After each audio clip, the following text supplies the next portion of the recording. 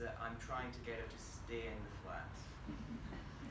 So we end up we end up talking, singing, talking to each other, and uh, we get interrupted by a phone call. But then when the phone call's finished, I'm very intrigued. You lay it on the table, don't Yeah. I'm very intrigued by Mimi, and I, I have to win her, get to know her better. I've got to, Woo me. yeah,